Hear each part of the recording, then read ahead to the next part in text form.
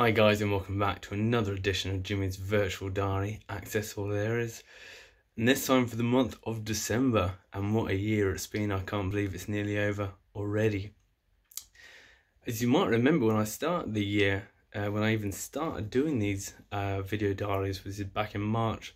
In fact, when I was living with a, uh, a girlfriend at the time, or an ex-girlfriend, um, in a little music room that we had, and since then, left there, going back to another house, and now I'm here in England, uh, broadcasting these to you. What a weird year it's been uh, when I sort of think back to to everything. um, but it's been amazing to share the journey with you guys, and everyone's been watching and tuning in.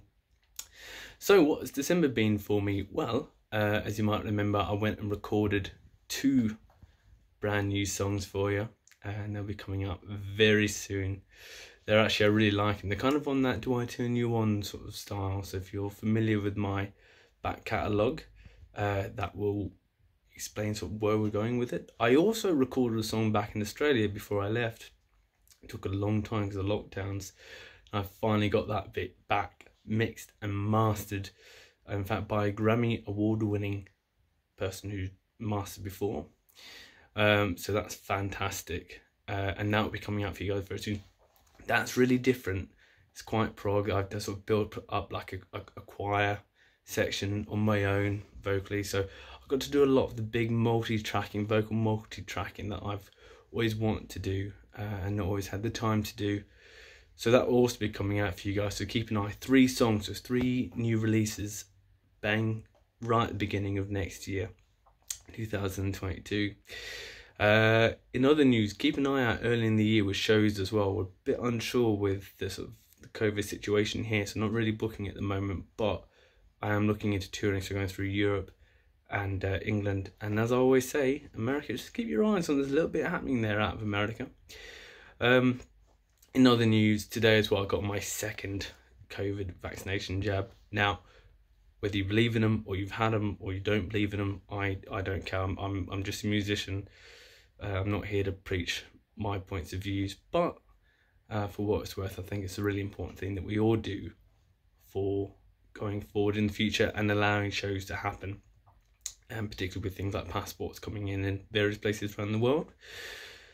So, oh, and you might have seen the photo shoot I did, um, and all those photos have been coming out. So I thank you guys a lot for all the uh, love that those photos have been getting, um, and of course Riccardo Cenci Media. Um, and the photos have been posted from the gig I did the other week. Uh, Joseph Clark Photography, both brilliant lads at what they do, uh, and Sheffield regulars and well known here.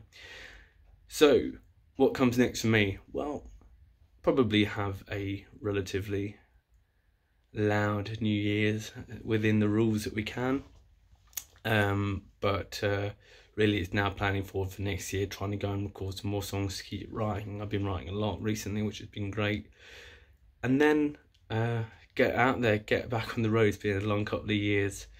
Um, so get on the road, get in the studio and, and give you guys a bit. But as I say, keep your eyes right here because new music is coming and I've been listening to it a lot and I gotta say, I think it's pretty good. In other news, I hope you guys had a really, really, really wonderful Merry Christmas wherever you are in the world um, and, and, got to celebrate it to the best you could with your families. Uh, I know for me, being a million miles away from, from my uh, direct families all back in Australia, it was very quiet for me and a bit subdued. But it was still a great day.